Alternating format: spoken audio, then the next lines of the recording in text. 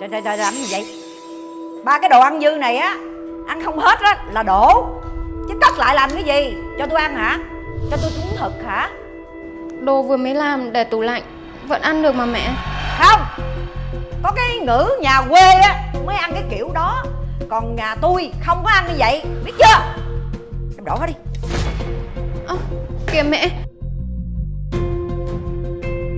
Đồ ăn còn thừa Để con ăn cũng được mà mẹ ừ tôi đang ở trên nhà vợ chồng của thằng con trai.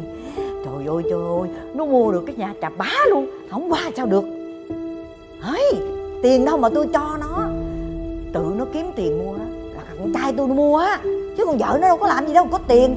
Qua đây ở vài bữa trời nói vậy chứ, đi qua kiểm tra, coi con vợ nó có biết săn sóc rồi dung dáng nhà cửa hay lại đi. Chứ hả, để không thôi á nó leo lên đầu lên cổ. Thằng con tôi nó ngồi. Ở đâu ăn cái kiểu này tôi không biết. Ở nhà quê cô cô làm cho cha cho mẹ cô ăn cái vậy thì được nha. Còn ở đây là phải sống theo nề nếp cái gia đình của tôi. Tôi không ăn kiểu này. Mẹ Mẹ nói con thế nào cũng được. Nhưng mẹ đừng nói động đến ba mẹ con ạ. Cô đúng là cái thứ hỗn láo mà. Lấy chồng huyến an phận nhà chồng. Điều cơ bản như vậy cô không biết sao Bây giờ cô còn lên mặt dai nữa hả? Hả? Dạy con á dạy thở còn thơ. Dạy vợ lúc ban sơ mới về. Bây giờ mẹ mới chịu dạy. Lại đưa cả anh nữa. Anh không thấy mẹ mình vô lý hay sao? Cô thì hay rồi. Thấy chưa? Vợ con đó bây giờ nó trả lời với mẹ như vậy á. Nhà này có phước lắm mới rước cô về làm dâu đó. Cô câm miệng cô lại cho tôi. Hoặc là cô cút khỏi cái nhà này.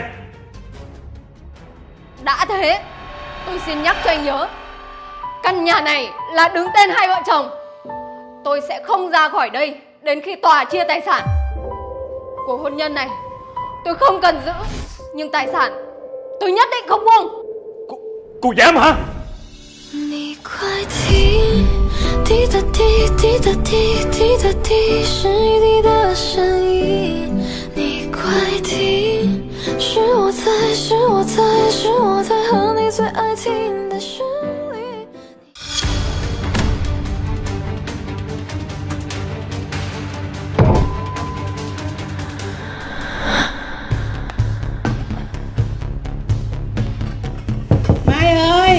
Vô được không con? Dạ con chưa ngủ đâu mẹ Mẹ vào đi mẹ Con, mẹ lên phòng con á, có ảnh hưởng gì với vợ chồng con không? à, Dạ không mẹ Ừm, Mẹ lên con vui lắm Dạ. Hồi chiều á, mẹ ăn cơm ít quá, giờ mẹ đói bụng quá. Con nấu gì cho mẹ ăn với? Hồi nãy á, mẹ thấy con nấu cái gì mà? Dạ con Con nấu ít nước nóng để uống thôi mẹ. Con không có nấu gì ăn đâu mẹ.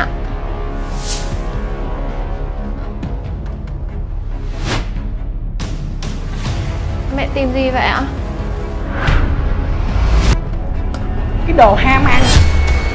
Đi giấu đồ ăn ngon, ăn một mình. Mẹ mẹ đừng mở Trời ơi, sao có cơm khét với xương gà không vậy con? Dù con có thiếu nợ phá sản thì con phải nói cho mẹ biết chứ. Cái gì đâu mà cơm ăn á thì con không đủ no nữa. Đã vậy còn nấu cháo gà cho mẹ ăn. Còn con á thì ăn xương với cơm khét. Vậy sao mẹ chịu nổi con? Mẹ Mẹ đừng có khóc nữa mẹ Mai cũng chỉ vì thương mẹ thôi Chứ không có ý gì đâu mẹ. Mẹ vất vả cả đời rồi Tụi con không muốn mẹ vất vả thêm nữa. Nên là con mới giấu mẹ. Con con cầm số vàng này nè con đi bán đi rồi con mua gạo thức ăn cho cả nhà. Thôi mẹ cất đi Con không lấy đâu. Có thật á mới giật được đạo mai mốt á tụi con có tiền thì mua lại cho mẹ. Mẹ đã nói vậy rồi. Thôi em cầm cho mẹ vui đi.